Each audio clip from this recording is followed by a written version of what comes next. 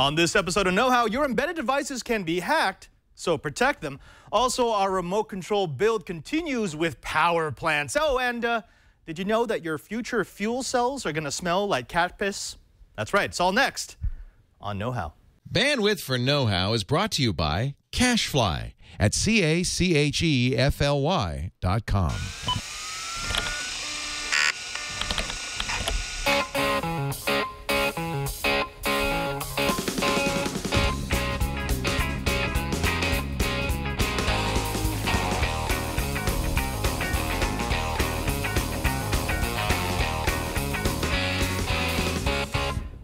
Welcome to Know How. It's the TWiT show where we build, bend, break, and upgrade. I'm Father Robert Ballecer, the digital Jesuit, and unfortunately, I'm not joined by my regular host, Cranky Hippo, Bryan Burnett.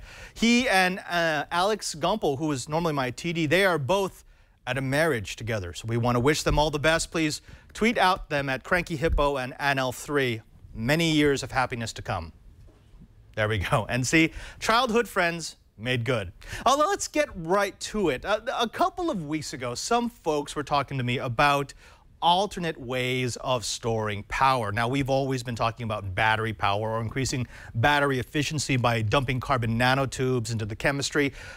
But one of the most promising technologies, the technology that's within our grasp, is the hydrogen fuel cell. Now, I know, I know, we've heard a lot about this. But the problem with a hydrogen fuel cell has always been storage and transportation of hydrogen. Hydrogen, as you know, tends to be kind of explody, and we don't like explody. We like things to be safe, especially when you're fueling vehicles. Hydrogen can be a difficult tool to bear. Well, some researchers in the UK have figured out a way to make hydrogen on demand while also making it very transportable, very safe, and therefore very cost effective. Now, how do they do it? They do it by not using hydrogen. Yeah, that, that's right. They, they use hydrogen and they make it safe by not letting it be hydrogen, free hydrogen, that's H2, at any given moment. They've developed a process by which they can take ammonia, which is just NH3, one, one atom of nitrogen and three atoms of hydrogen, and break it apart on demand so that for every two molecules of ammonia, you get one molecule of nitrogen and three molecules of hydrogen.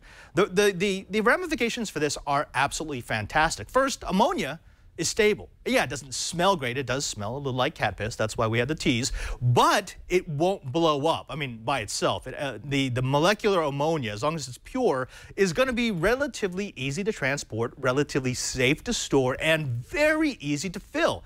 In fact, you fill it just like you would fill the car of your, your uh, uh, petrol-powered vehicle right now. It's You use a plastic tank and you dump ammonia into it, and then it gets pumped over a catalyzer, which would break apart the hydrogen from the nitrogen, thus giving you your hydrogen.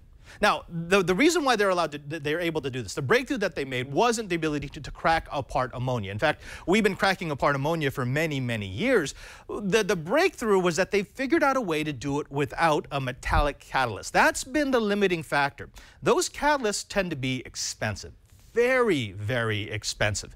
And so they've, uh, they've created a reactor. It's about the size of a two liter bottle that will do all the cracking with a simple chemical process chemicals that are catalysts themselves, not using any metal, not using any precious ores, not using anything that's expensive or difficult to replace. This is a breakthrough.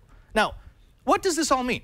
Okay, well, first of all, it means now we've got uh, a way to fill in that last mile, that, that part of the hydrogen fuel cell economy that we thought was too dangerous. It also means that devices like this, this is actually a fuel cell itself. This is a reactor. This takes hydrogen, pure hydrogen in through this inlet, and uh, it gives you power. In fact, 5 volts of power, 1 amp, enough to charge USB devices.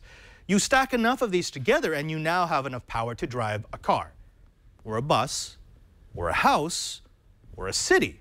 Now, Previously, we'd, we'd had to use things like this. This is just silicate. So this takes a little bit of water and it starts cracking it apart and it releases ammonia, but this only works for a while.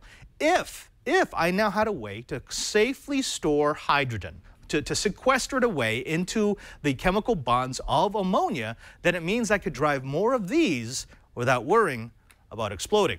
Now, Now, we don't know exactly how the reactor works. That's, that's kind of a black box. I'm sure they're a little worried that people are going to try to copy them, but we can guess as to how the reaction is going to work. Tony, if you go ahead and go back to that graphic, what you see is you need to start with water, and you have to be able to crack the water apart. You need to pull H2O, which is two atoms of hydrogen and, and one atom of oxygen, and pull it apart. Typically, we do this through electrolysis. By running power through water, we get hydrogen on one side, we get oxygen on the other.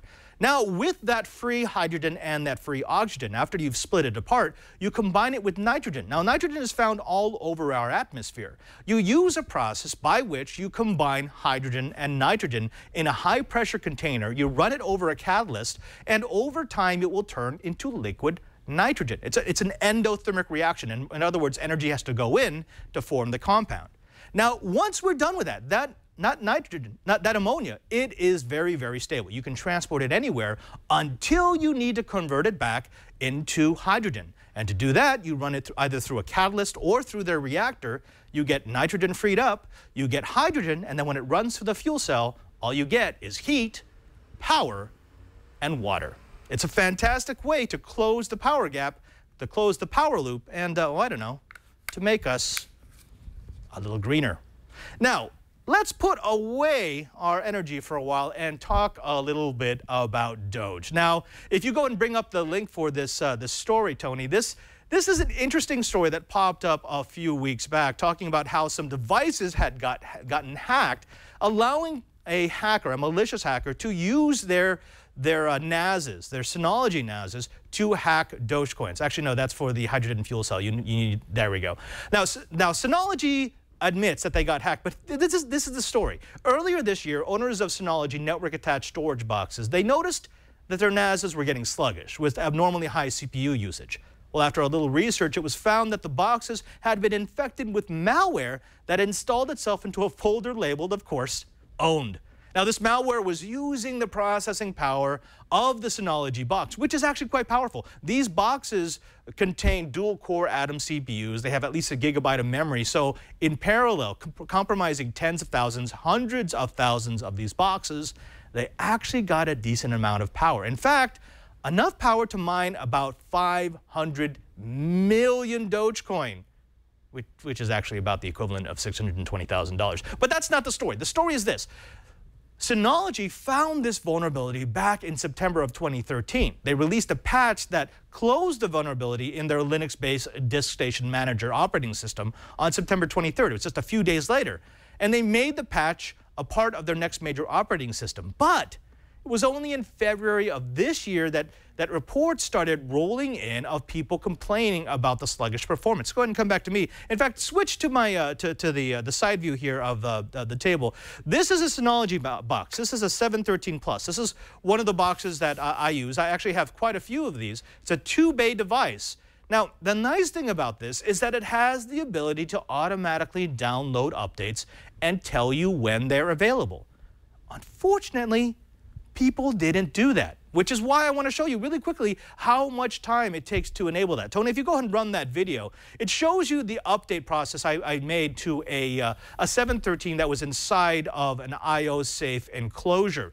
Uh, go ahead and, uh, yeah, there you go.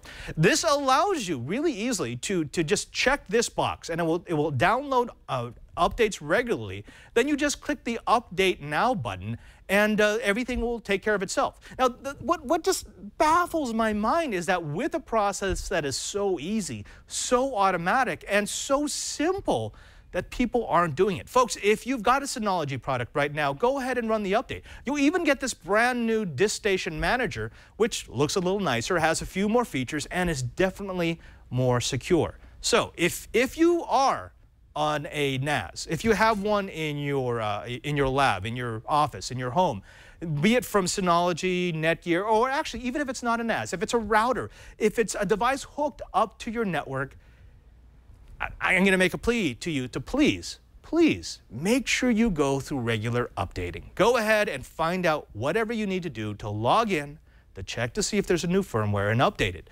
Because when you do, you're going to be able to get rid of things like, oh, I don't know, making someone else a lot of Dogecoin. Now, when we come back, we're going to get to the meat of the show. I want to show you all about the RC bill that we've been talking about. Last time we showed you what the transmitters look like. We showed you how they actually work, how you can transmit instructions from one point to the other. Now, we're going to show you how you turn that instruction into power. But until then, let's take a trip to Maker Faire.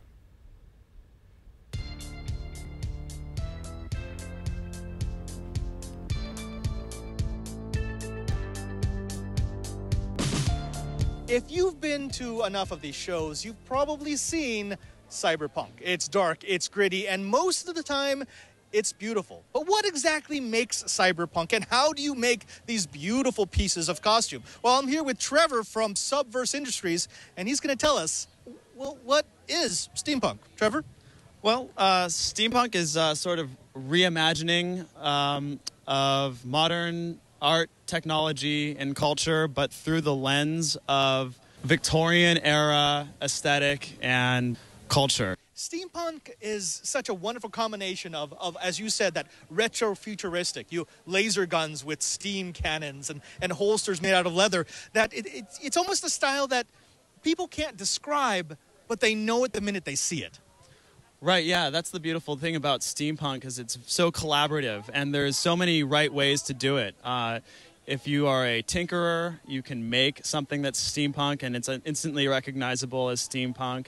Uh, you can come at it from the fashion angle, from all the literature, the, the novels out there. It's just such a robust world, and, and yeah, it's, it's, it's an amazing collaboration. Okay, Trevor, I got to ask you about your collection behind you because everything behind us is handmade, designed by you and your team. And, and I have to say, I've seen some bad steampunk in my days. I mean, good attempts, but not quite there. How do you go about actually designing the holsters and the hats and all the accoutrements that, that make your style? Well, uh, uh I got to give credit to to my community. You know, it's it's really uh, I'm inspired by the people around me all the time. It's a lot of uh, beautiful characters. Uh, the whole the whole Bay Area, specifically steampunk community, is just vibrant and amazing. And uh, you know, it, it starts there, and then I think about function and, and form, and uh, throw in a little passion and love, and, and we end up with some pretty awesome stuff. I think. Now, I, I, really enjoyed that steampunk booth, and uh, I've been trying to get into it. If there are any makers in the area, California, the Bay Area, and you want to get on know-how and you've got the skills to make something interesting, please go ahead and contact me on Twitter at PadreSJ. Now, remote control. For the older members of the audience, you probably dabbled with remote control. Everyone was doing it back in the 80s and the 90s. It was fun to make models that moved. I mean, it was one thing to make a fighter jet uh, that sat on the wall or a nice model of a car that sat on top of your bed. But to make a remote control plane, boat, car, that was a different thing. Oh, you can buy yourself a kit, and some of these kits are actually pretty advanced. This is something that I received a couple of years back. I showed this off last year. It's, it's actually a decent remote control vehicle, and it will show you all the principles. But the problem is, it's ready to run. It comes pre-assembled, which means that if you're doing this to learn a few things, to find out how remote control works, how transmissions are assembled, how the power plant is put together, this won't be a really good way to do that. I mean, you could disassemble it, but what's the point of that? Instead, we thought you should probably buy yourself a kit. Uh, we've gone with this. This is the lunchbox. This is something that, uh, again, this is from the 80s. It's an old model. We, we got it because it has a huge chassis, which gives us a lot of opportunity to play with the different parts of the remote control. I'm going to call it a fetish. Yeah, it's a fetish. Everything from the, the big monster truck wheels to an oversized transmission to a, a unibody, which mounts everything. Now, what I really like about assembling a kit like this is you need to put it together. You don't buy this from a store and, and, turn it on the next day. If you don't put together all the gears properly, if you can't assemble a transmission, if you don't know how a power plant runs, well, you're just not going to get any of enjoyment. So if you have a kid, or if you have a kid at heart, that's what we're going to be doing the next couple of episodes. We're going to teach you how to turn this into something like this. Now, again, last time we were here, we talked a little bit about the actual trans transmitter, the transmitter and the receiver, the way that your RC system talks to the model.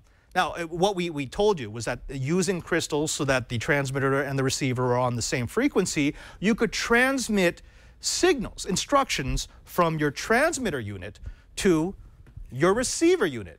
But the question is, what happens to those signals, to those instructions once they get there? Specifically, what we're going to cover today is how do you get go? And we want go. I mean, if it doesn't go, why are you doing it in, in the first place? So what we need to do is we need to talk about the power plant. That's right, the little electric motors, and we're talking about electric here. You can buy these with nitro fueled, but let's, let's do electric because, again, I don't like people who blow themselves up. We want to show you the two different types of electric motors that you can get for your RC models. Now, specifically, they're called brushed and brushless. Now, I know we're going to get technical here, but this is know-how. You're all geniuses, so you'll be able to figure this out really quickly, and you understand why one is important, uh, why it's, it's important to know one from the other. Now, a brushed motor is very simple. Tony, if you go ahead and bring up that, that uh, there we go. So this is what a brushed motor looks like. This is in its most basic form. You've got a battery, you've got that, which is a power source. You've got an armature that contains the shaft, a tightly wound coil of wire, a commutator, and the assembly into which the armature is mounted, which will contain the brushes, as you, as you, can see, a rotating mount, which allows the armature to spin on its axis, and a permanent magnet. You could actually build this. This is, this is a perfect model of something that you could throw together in a garage and you would get rotational motion out of it. Now, the way that it works is this. If you go ahead and uh, forward to that next video, uh, the battery provides current to the brushes. Now, the brushes are going to make contact with the commutator, and the commutator will allow the current to flow through the wire loop. Uh, go ahead and there you go. Now the current flows through a loop of wire which will create a magnetic field. I mean if you've ever done this in grade school, if you put current through a coil of copper cable, it will create a positive and a negative pole. In other words, it's an electromagnet. Well, when you create that magnetic field, the magnetic field will interact with the magnetic field of the permanent magnet, which will also have a positive pole and a negative pole. Now, okay, here we go, magnetism 101. Like poles will repel, and opposite poles will attract. That means the positive side of the charged coil will be pushed away from the positive side of the permanent magnet and drawn to the negative side of the permanent magnet. At the same time, the negative side of the charged coil will be pushed away from the negative side of the permanent magnet and drawn to the positive side of the permanent magnet. Because of this, the shaft on which the coil rests, because it's in a, in a mount, will turn.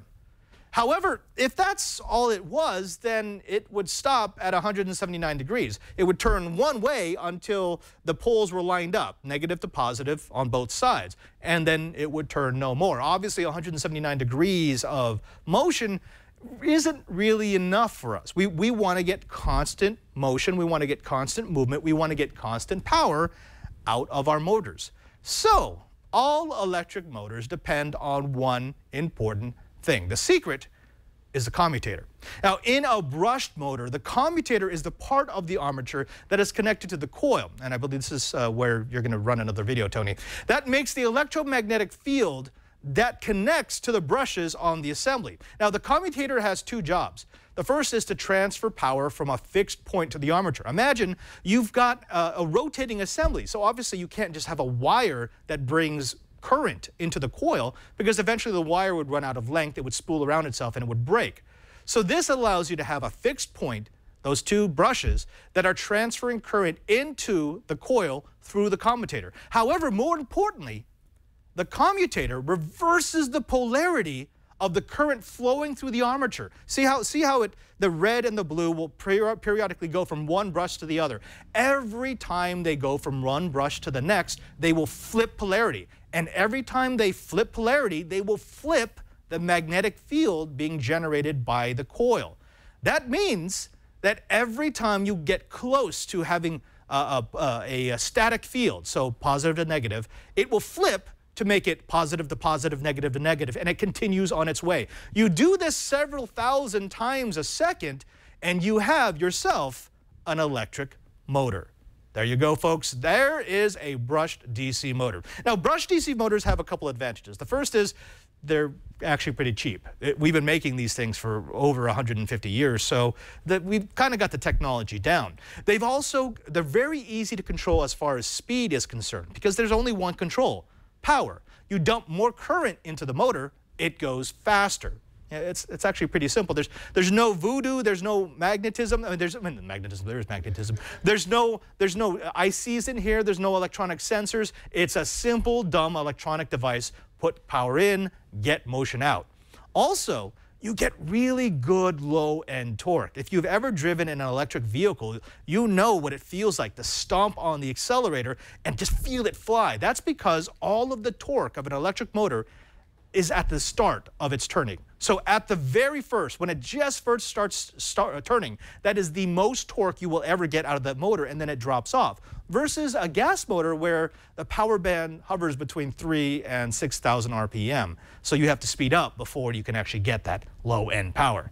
Now that's a brushed motor. The disadvantages of using this is that the brushes, because they're touching the commutator, will eventually wear out. And when the brushes wear out, you either have to replace it or you throw away the motor, more likely the second because these are so cheap.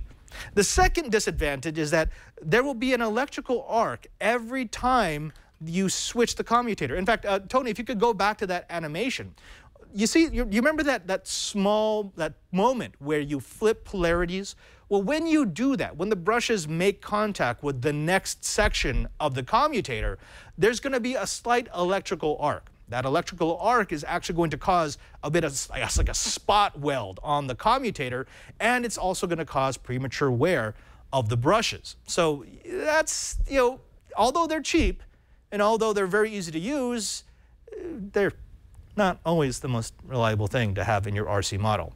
So let's go from this to this. This is a brushless motor. Now, mostly you've seen these in uh, quadcopters. Quadcopters use them a lot because the, uh, the, uh, the, the, the, auto sensing that is inside the motors is actually perfect for the fine control that you need to balance a, uh, a craft in flight. Now, what do I mean by, by that?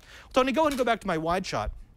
Uh, what I mean is that unlike a uh, uh, the, okay, let's start with this. Most of the parts of a brushless motor are the same as a brushed motor. You're going to have a coil of wire. You're going to have an armature. You're going to have a permanent magnet. You're going to have a commutator. The only real difference is A, the magnet is the part that spins, not the coil. And B, the commutator is electrical, it's not mechanical. Now, what do I mean by that? Well, there is a power source, there is an armature, there is a shaft, there's a coil that generates the electric field, there's a permanent magnet, and there's a commutator that flips the current going through the coil and therefore flips the magnetic field. But the shaft, the part that spins, is actually connected not to that little coil that we saw in the first diagram, but rather to the magnet. Right, so if you look at this animation, imagine that the magnet is the part that is rotating. That's actually perfectly possible because right here, the only reason why the magnet's not rotating is because it's being held down by the mount. Now, if we do the exact same process, but we don't move the armature, we don't move the coil, you get movement from the magnet, and that's what makes a brushed motor. Now, the other part is because there is no mechanical commutator, it means that uh, you have to use a sensor. There's a sensor inside every brushed motor that detects the position of the, uh, of, the, uh, uh, of the magnet. And, and then it, it automatically will shift the magnetic field, the polarity of the current flowing through the coil to make that magnet continue to spin on the axis. What this means is that in a brushless motor, it tends to be a bit more expensive. Not, not, not a whole lot now because they're being manufactured in bulk, but for the, the, the nice ones that you can get from remote, remote control aircraft, whereas this one might cost you about $14, this one will probably cost you about 60 so yeah, there is a price increase, just know about that. However, there's a lot of advantages to using a brushless motor. The first is because there are no brushes, because there's no contact, you don't have to worry about brushes wearing out. So they are gonna last a lot longer.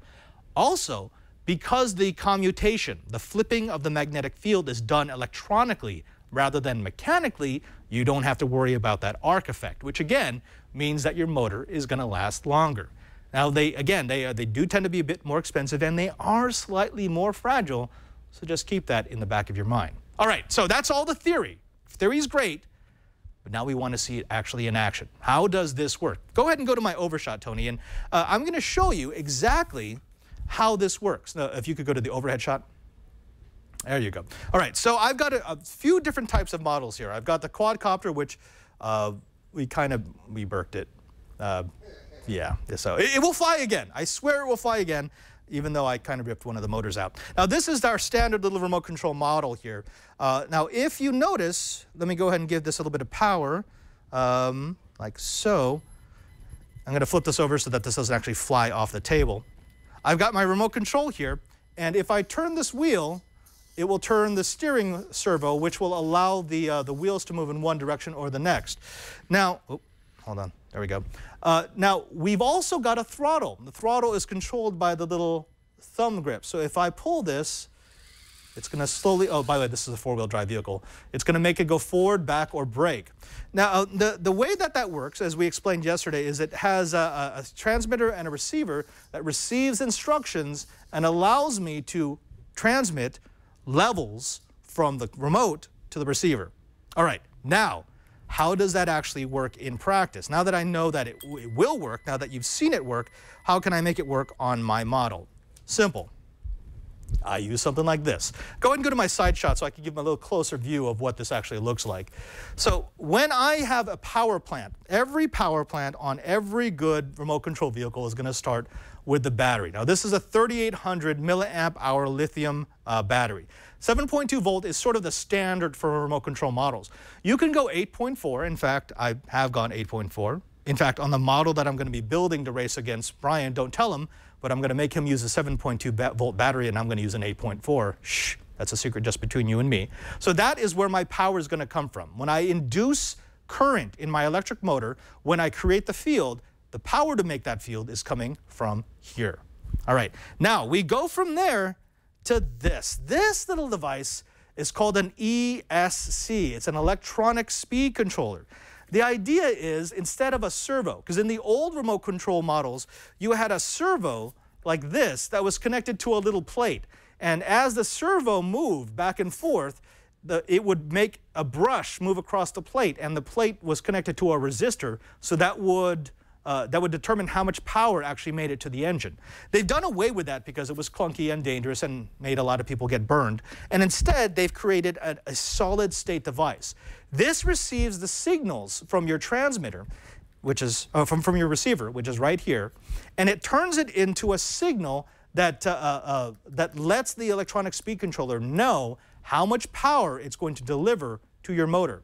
Of course, we've got the receiver. The receiver is right here. This one's actually tied to this transmitter, not to the, the, the pistol grip.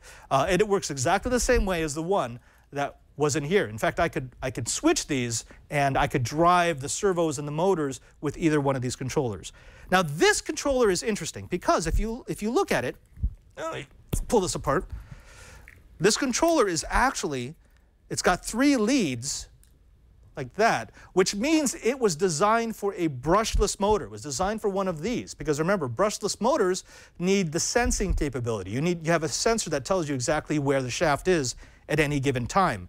We're not using a brushless motor, we're using a brushed motor. Now this controller has the ability to use brushed motors by just using two of the leads and switching the, uh, the, uh, the setup on the controller. Not all ESCs have that. Make sure you look at the instructions very closely before you buy. If you're going on Amazon to get yourself a controller, make sure you buy a controller that is either for a brushless or for a brushed motor, depending on which one you plan to buy. All right, now, I've got my receiver, I've got my controller, I've got my motor. All I need to do is give it power and make sure that I haven't done anything that will electrocute me. I'll turn on my transmitter and I'll connect it to my 7.2 volt battery like so. Once I turn it on, oh, actually I should probably hook up a servo here so that uh, you can all see the steering. Uh, remember, I need two channels. I need one channel that will control the steering and I need a second uh, channel that will control the, uh, the throttle. Right, now if I turn on the transmitter and the receiver, you'll see this servo. As I move back and forth, the servo the servo will, will shift back and forth. This is going to be the one that's connected to the linkage of the lunchbox. This will allow me to steer back and forth. Uh, you can buy bigger servos, and the bigger the servo, the more force it will be able to put out as you, you, uh, you make your, your signal input.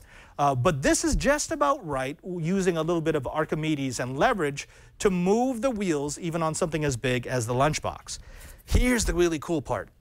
The throttle, this thing right here, is not connected to a servo. It's connected to this electronic speed controller, which means when I start turning this, um, let's see, you can hear it. It actually gives you very fine control of how fast it's going to run. Now, you could buy different size motors. This is a standard 540, but you can get anything from a 380, which is a much smaller motor. It's actually closer in size to something like you have on this model, uh, all the way up. You can also custom torque your motor. Uh, I remember when I was when growing up with models, it used to be that there was a really good way to fine tune your engine so that you could use the exact same model as everybody else and get a little more power. Oh, I just love that sound. Reminds me of childhood. Now, this, folks, is what your basic power plant is going to look like. Go ahead and come back to my wide. If you're building a model, you need to think about this because I, I, it, one of the biggest mistakes people will make in building a model is that the transmitter and the powertrain are an afterthought. It's just something that they run to the store because they, oh, I, we forgot to get a transmitter, or oh, we forgot to get an electronic speed controller, or oh, well, we don't we don't have a motor in the kit, so let's just go buy the cheapest one we, we have. You can spend as much or as little as you want on the transmitter, but it gets to be a choice you make. More expensive transmitters will have more channels. More channels means you can do more things. For example, one of the models I created early on was a four channel model. One was for steering, one was for throttle, one was to aim the cannon on top of the car, and channel four was to fire. So I'm not saying that you make yourself a cannon car, but uh, you could. Now, when we come back next time, we're actually going to start to show you how you assemble a model car. We're going we're going to take you through step by step on what it takes to put a kit like this with all this power plant equipment into a real live working model.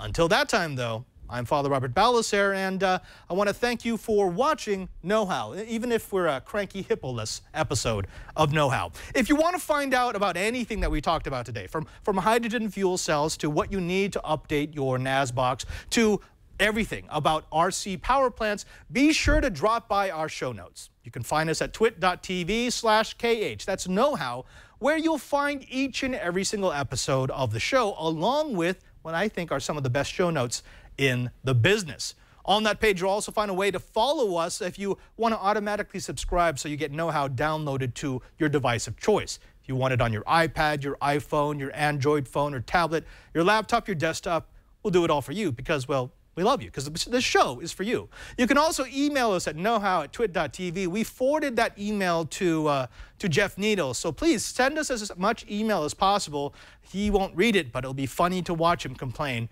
every single week. Also, you can find it, follow us on Google Plus. If you go to gplus.to slash twitkh, you'll find our G Plus community. It's 65, 6,600 members and growing. It's a fantastic place to ask questions or to give advice to young builders, makers, and DIYers. Also, you can find me on Twitter at twitter.com slash PadreSJ. That's at Padre SJ. If you follow me, you'll find out not only what we're going to be doing in every episode of Know How, you'll be able to suggest ideas for future episodes of Know How, and you'll find out what I do during the week, moving between Know How, Coding 101, and uh, uh, what is that show I do on Monday? This Week at Enterprise Tech here on the TWiT TV network. Until next time, now that you know how, go do it.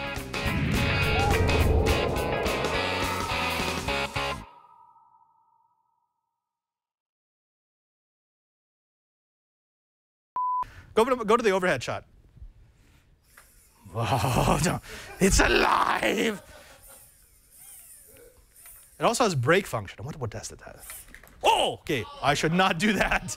I should not. Actually, watch. Wait. Speed it up. Faster, faster. And hey, anyone want to see Newton's law in action? And brake. Whoa!